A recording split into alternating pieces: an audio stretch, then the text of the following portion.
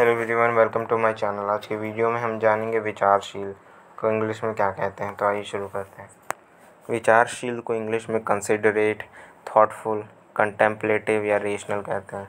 Considerate thoughtful contemplative या rational एक example से समझते हैं इसे example his work very he work very his work is very thoughtful यहाँ पे थॉटफुल का मतलब है तो विचारशील। उदाहरण, उनका काम बहुत विचारशील है।